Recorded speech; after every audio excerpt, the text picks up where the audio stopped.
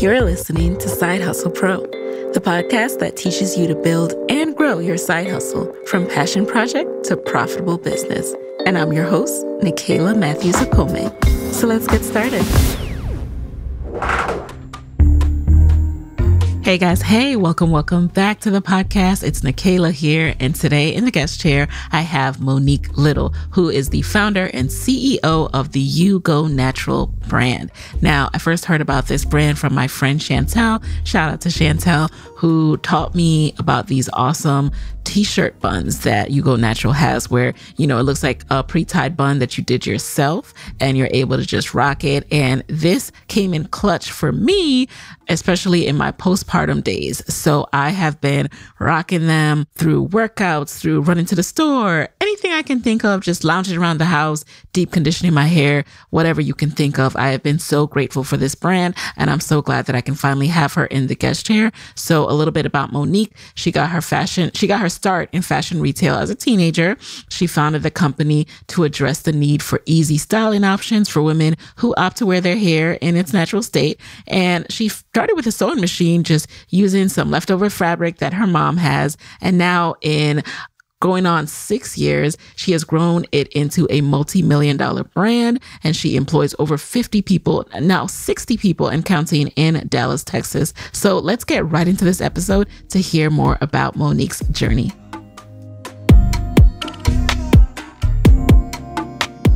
All right. Hey, hey, Monique, how are you?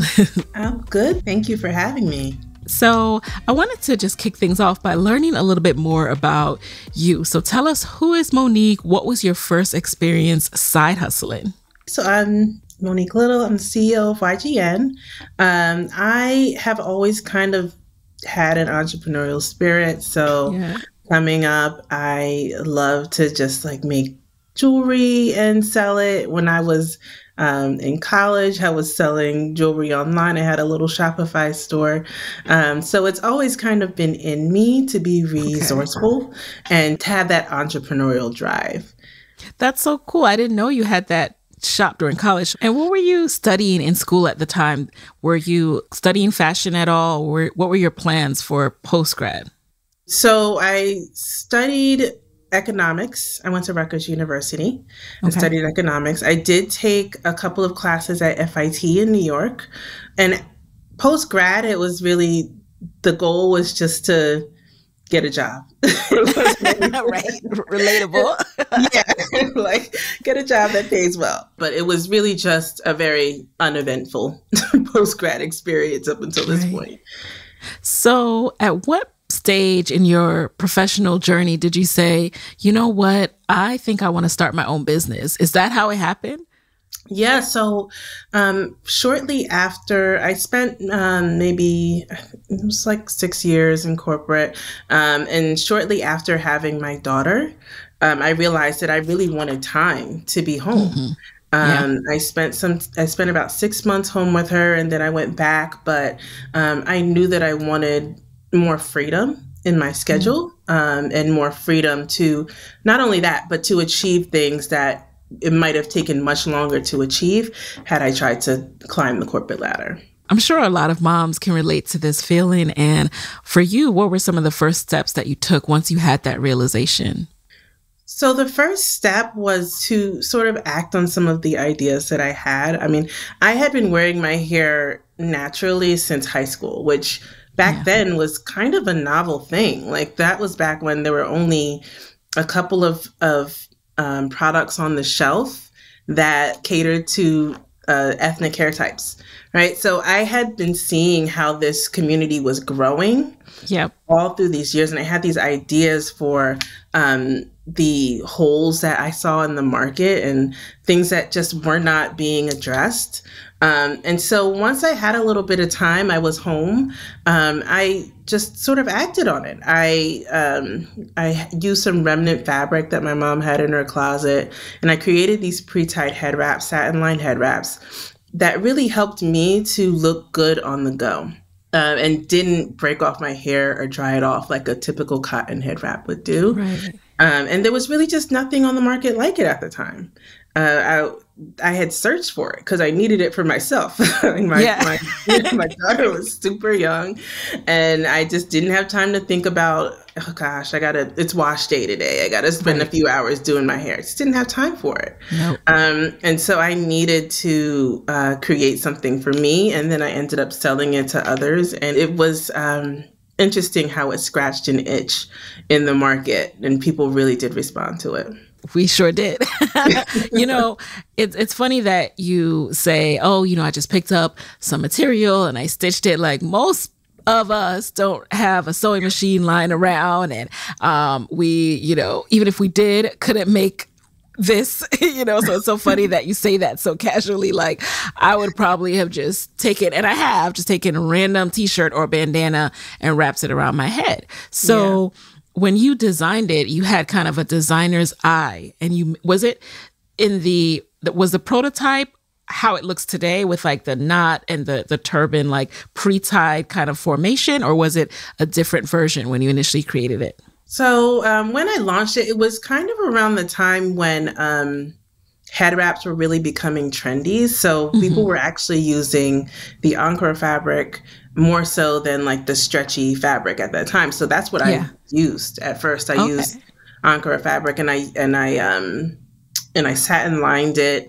I tied these big fancy bows that are yeah. it's just not scalable to do anymore. and then I created all different types of styles that um, mimicked what women were doing at the time. So, when did you start selling them? While you were on maternity leave or once you got back to work?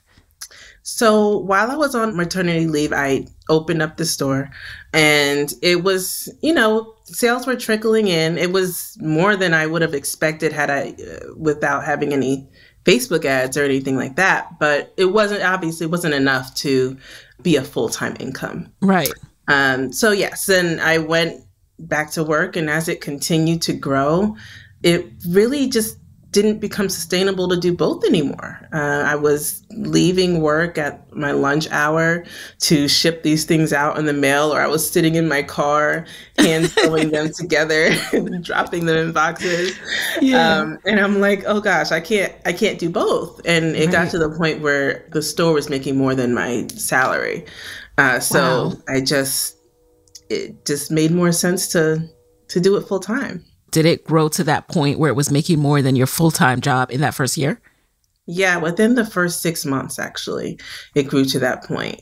I've been putting them up on my Instagram and I had grown such um, engagement with the followers yeah. there and it really became a community and every time i would drop a new color or a new print people would rush to the store to buy Um, and in six months, it was just like, wow, like I would wake up in the morning and my husband and, and myself at the time would drive to work and I would look at my Shopify store and I'd be like, oh my goodness, like I made more before I wow. even got to work today than I'm going to make all day long. So I just ended up, you know, saying, I'm just going to take the leap. And, and wow. I decided to quit my job and do it full time.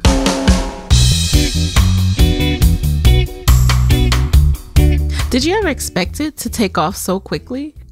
Not at all. No, it, was not expected for it to take off so quickly. Now, I did know that um, because this this little idea had been like n- nagging at me for so long. I knew it was a good idea. like I yeah. knew it was like something that had to exist in the world. Um, but I never, you know, before these opportunities open up to you, you just don't even know it's that's what it looks like, right? Like right. I, I'm just kind of doing this thing that came to me and it you know i'm along for the ride right um but i i don't know that i ever really thought of it becoming as big as it is yeah. And I think sometimes that's the beauty of side hustling. You know, you're able to start something and you don't put that pressure on it. Oh, it has to be this. It has to make this much in X amount of time. You know, right. that gives you that freedom to explore different patterns, to get some feedback from your customers. So, were you getting feedback from the customers? Were things that people were saying to you, was that helping to inform your next version of the product or your next pattern, your next design? Oh, absolutely. And that is our MO to this day is I always say, you know, there's this saying that says if you're not embarrassed by the first product you put out, you put it out too late. and when I think back to the products that I put out, oh my gosh, I just want to apologize to my first customers. because yeah. I mean, I just took the feedback and it, it's yeah. another funny story is I I used to make them on these little styrofoam heads, the um, okay. you know, like the little head forms, and I didn't realize that that's not the size of a real head. So these things were tiny, like absolutely yeah. and I was sending them to customers, and they'd be like, "Oh, I love it, but I just can't get it on my head." See, I didn't know those styrofoam heads were They're tiny either. Actual head size. I just assumed they were. Um, so you know, those are learning experiences. I, I mean, there's it's there's a craft called millinery art.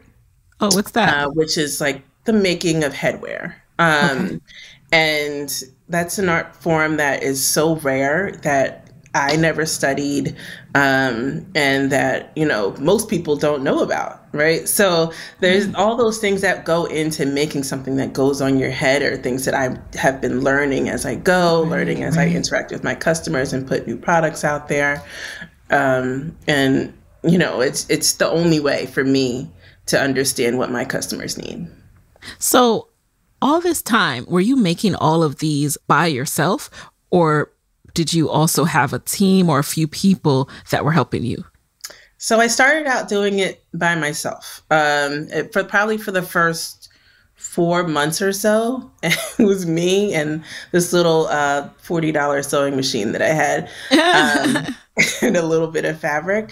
And then uh, my mother saw me doing it and she was like, Do you need any help? Because my mother's the one who taught me how to sew. Okay. so I think she reluctantly came in mm-hmm. and I have pictures and videos of us in her living room with just like fabric everywhere and like labels and at the time my sister was helping us ship and it was just like it had taken over her home.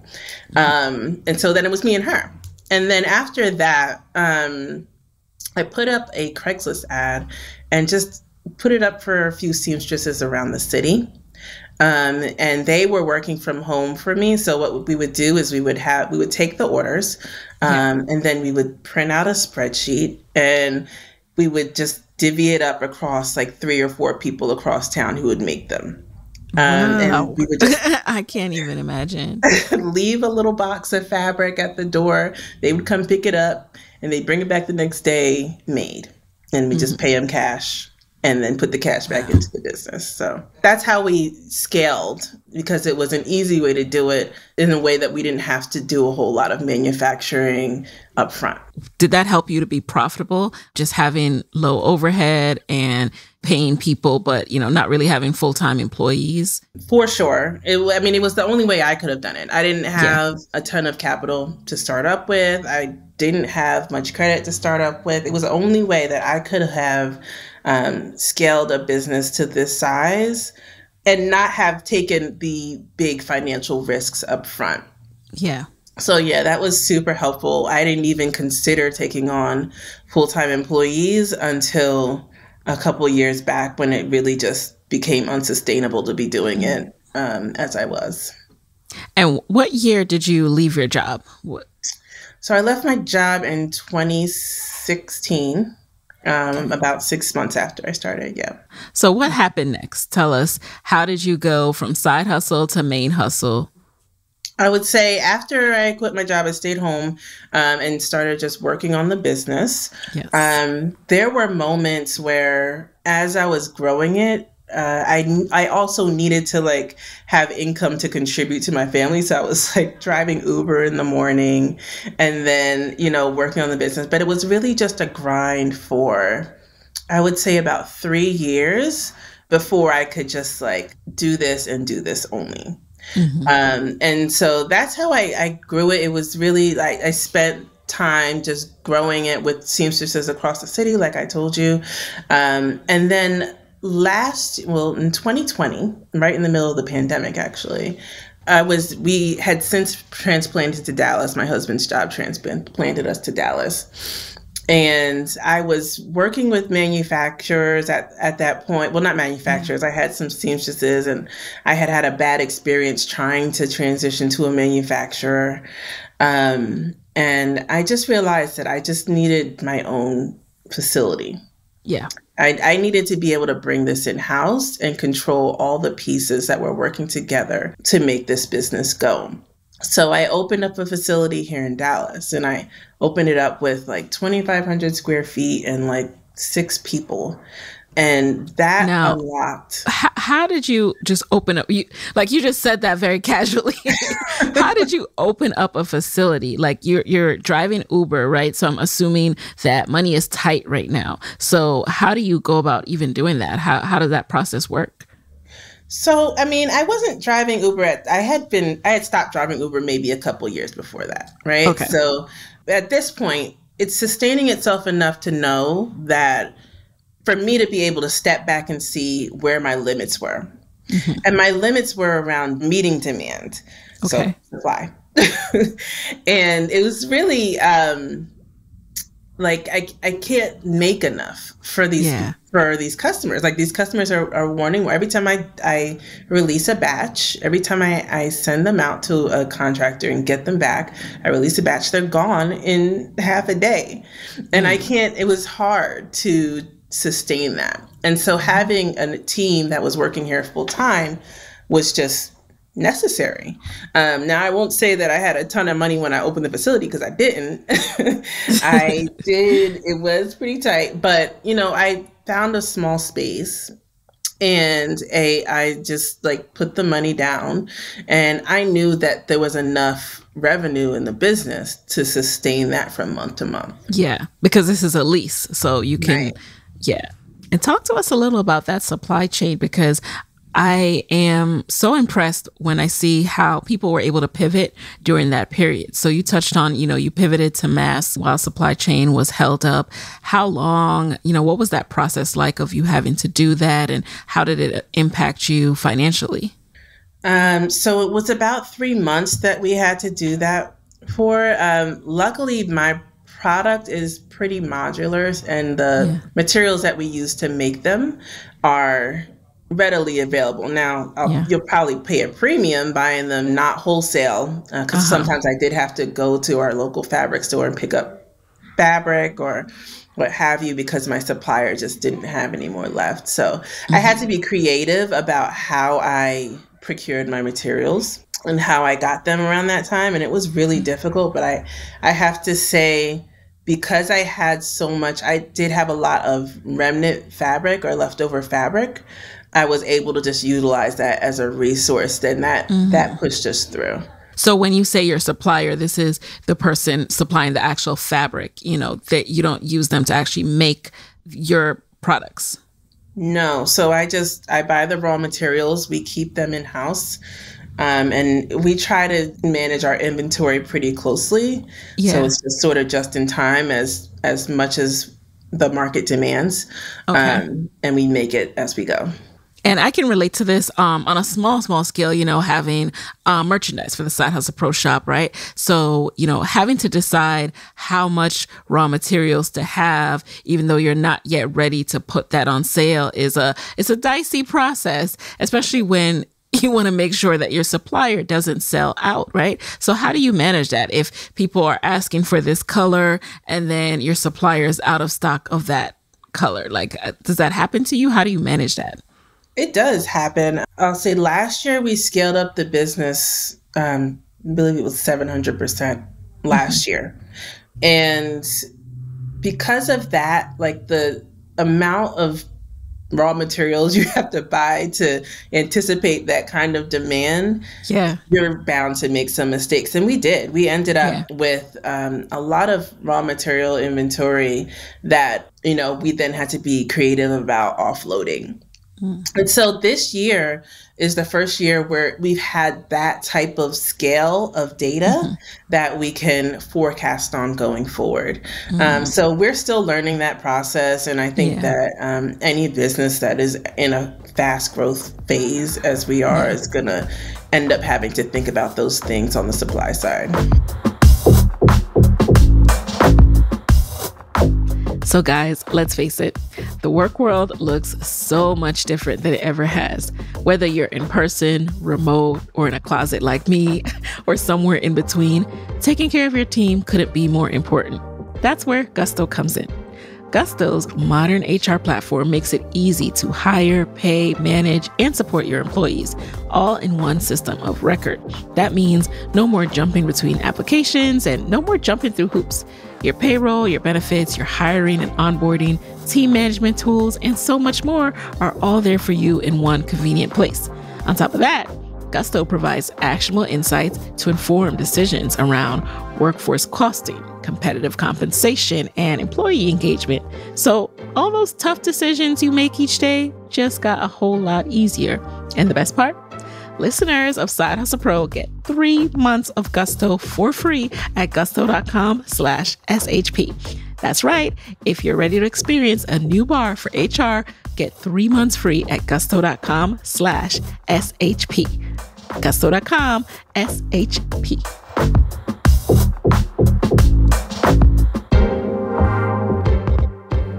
So, what would you say, in addition to the supply management, what have been some of the parts that were unexpectedly challenging?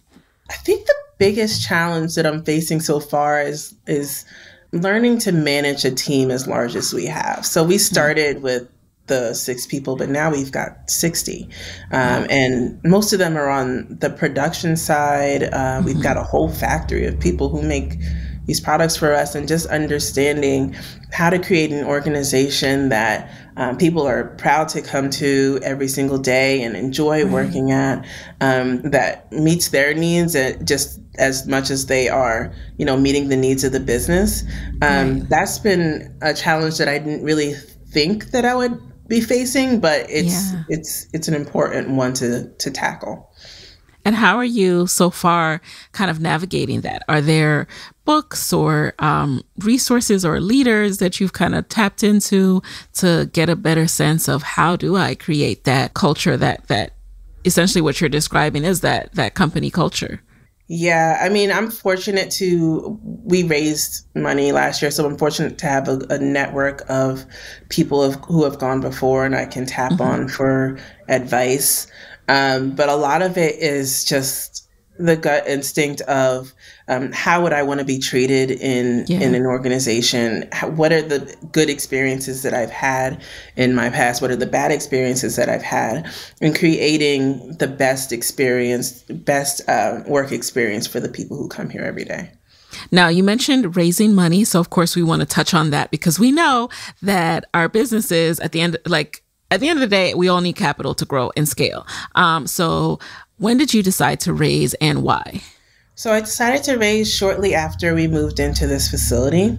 Mm-hmm. Um, and it was because it, it was a good time as far as like how well we were doing. So we okay. we I bootstrapped the business all the way up. We've been profitable from day one, right? So mm-hmm. um, once we got to a certain scale of a, a million dollar run rate and things like that, things that I knew looked good in the eyes of the VC and I could pitch easily and yeah. it wouldn't be difficult to tell that story. They always say if you're going to raise money, do it when you don't need the money. So that's okay. when that's when I did it. We were doing pretty well, um, and mm-hmm. it was mm-hmm. a good story to tell. So I decided to go out and tell it. Was it difficult to raise money from people who don't necessarily understand the need behind your product? Yeah, I mean that was it was an amazing eye-opening experience to yeah. be sitting across um, well across the zoom at that point yeah. from people who looked nothing like me and trying to explain the black woman's beauty experience. So yes, like not only is how did you do that? Yeah, right. It's it's not only that. I mean, men in general. I, I work with my brother now, who is the COO yeah. of the company. He came on last year.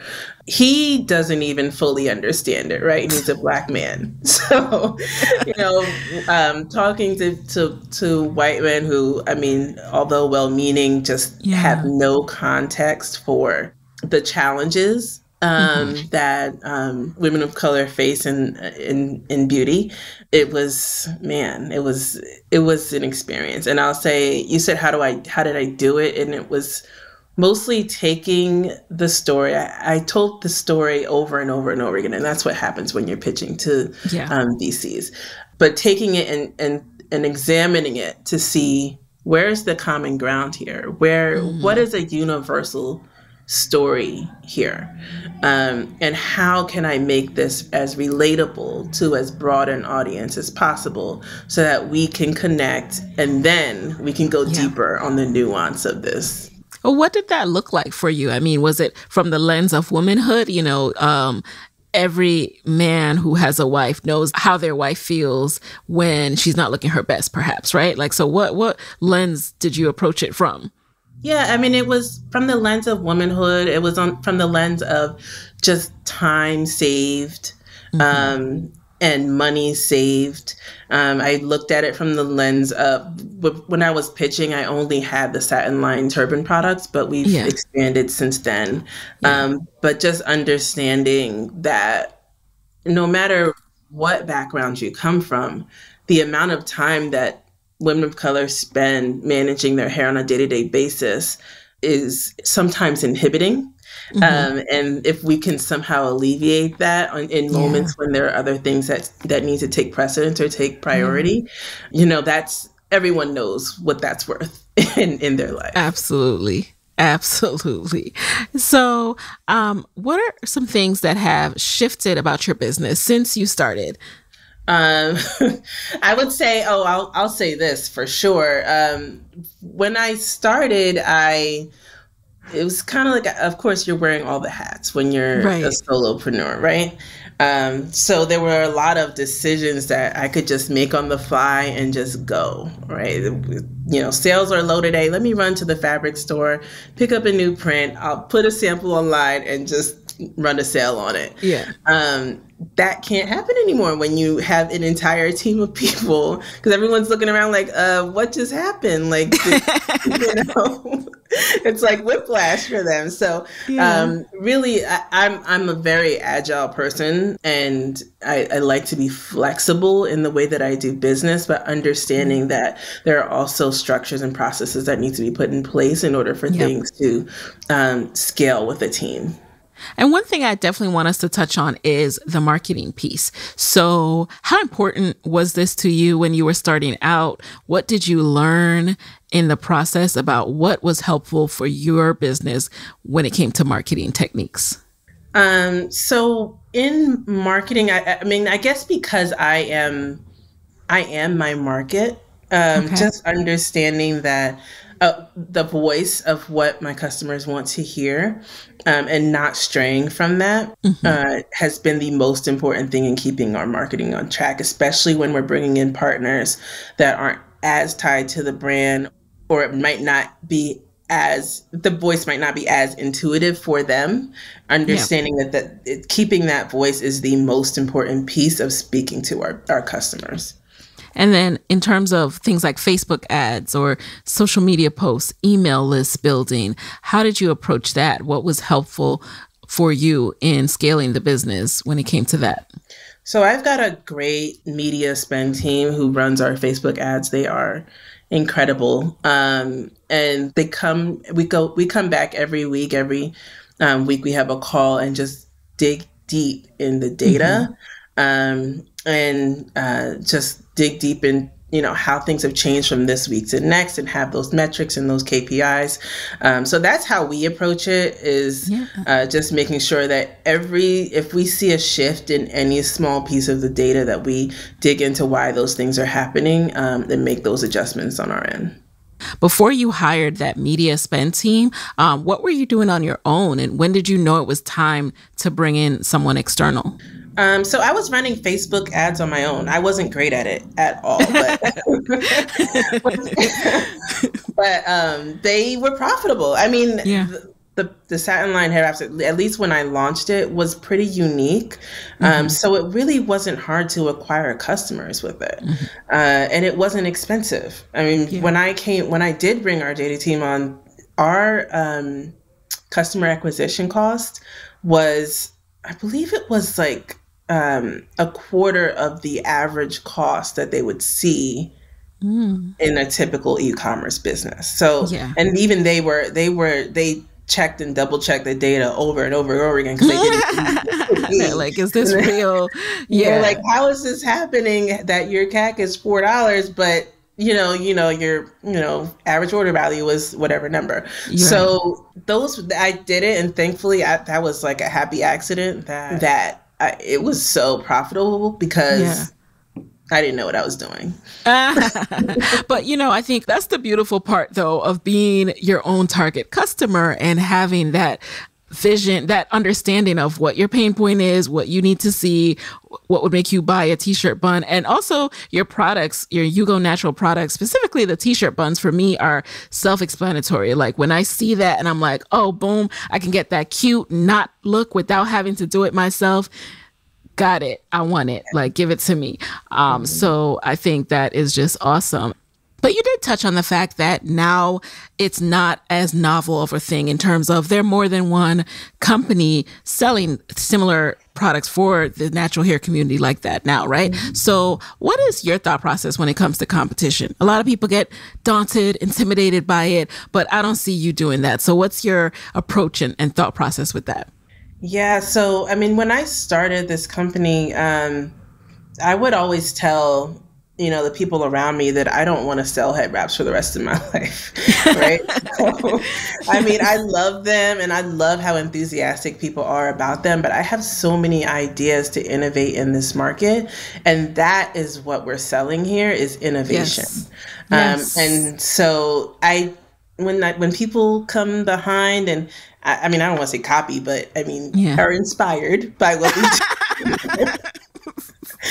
Uh, right, right. I, you know, it's nice and it's, it's flattering, but right, the ideas that we have going forward. It, I mean, if you're constantly doing what we've done before, you won't be yeah. able to do what we're doing next. So, yep.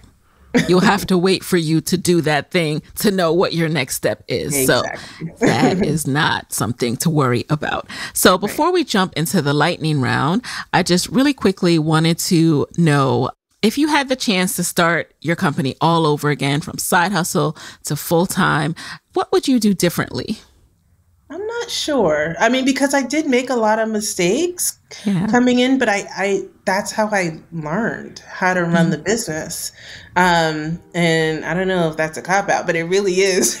I mean, like I couldn't think of like if I had done that perfectly before, right. would I still be here? Probably not you know mm-hmm. and, um, the the things that I learned along the way really helped me to know this business inside and out.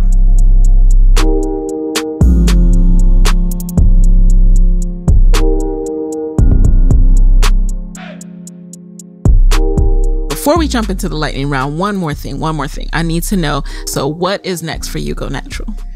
Um, okay. So, I mean, last year we released um, a bunch of product lines. We okay. had, you know, Swim that came out, our um, water resistant turban. Yes. We had uh, our new silhouette of Sleep, which is kind of an upgrade to your everyday bonnet. We okay. did men's, which was kind of like a side idea that took off. It's been crazy. Um, really? Um, and so last year was really our e commerce product year. And we're looking to probably move away from product focus oh, um, okay. and move more so into consumables. So we'll see. Um, I okay. won't give away all the secrets. You'll have to get, give it all away. We will watch but in there's anticipation. a lot more to come. Yeah. All right, so now we're going to jump into the lightning round. You just answer the very first thing that comes to mind. Are you ready? Yeah. All right. Number one, um, what's a resource that has helped you in your business that you can share with the Side Hustle Pro audience?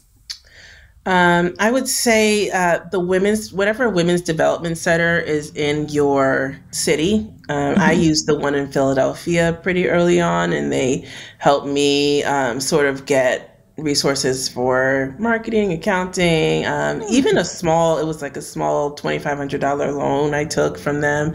Um, they were an amazing resource for me as I was, as I was building the business. Oh, awesome. Number two, what's been the best business book or conference or um, podcast episode that you've consumed this year? I reread Shoe Dogs this year, which is the autobiography or the memoir of the Nike. Nike yeah. yeah.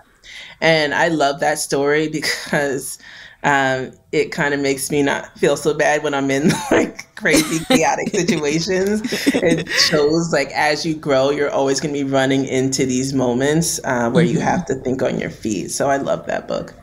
Okay. Number three, what is a non negotiable part of your day? Right now, it's coffee. I am. Um, I'm expecting a child. It used to be wine at the end of the night, but it's not uh, wine right now. Ah, it's okay. well, morning. congratulations. Thank you. um, number four, what is a personal habit that you feel has helped you significantly in business? For me, it's been making to do lists and managing my calendar. Um, mm. Just because, I mean, uh, the number of things that end up falling on your plate on a day to day basis as a CEO and entrepreneur, mm. um, there's no way to keep track of it if you don't don't manage a list or manage a calendar. And then number five, last question is what is your parting advice for fellow Black women entrepreneurs who want to be their own boss but are scared of losing that steady paycheck? I would say take the first step, and it doesn't necessarily, that first step doesn't necessarily mean quitting your full time job. But take that first step and then take the next one. Um, and, you know, it'll take you where it needs to take you if you're continuously working on it. Um, mm-hmm. As long as you're not giving up, it's going to have to think that's just the way life works. It's going to have to move forward. Uh, so just take the first step and then take the next one and, and try to manage things as it feels natural for you and your family. All right, Monique. So, where can people connect with you after this episode? Um, you can find the essence of You Go Natural on Instagram at You Go Natural, Twitter at YGN Wraps, and we mm-hmm. are on TikTok. Please follow us there at okay. You Go Natural. And you can also um, see our full product line at www.yougonatural.com. All right, guys. So thank you, Monique, for being in the guest chair. It was a pleasure having you. And there you have it, you guys. I will talk to you next week. Hey guys, thanks for listening to Side Hustle Pro. If you like the show, be sure to subscribe, rate, and review on Apple Podcasts. It helps other side hustlers just like you to find the show. And if you want to hear more from me, you can follow me on Instagram at Side Hustle Pro. Plus, sign up for my six bullet Saturday newsletter at sidehustlepro.co slash newsletter. When you sign up, you will receive weekly nuggets from me, including what I'm up to, personal lessons, and my business tip of the week. Again, that's sidehustlepro.co slash newsletter to sign up. Talk to you soon.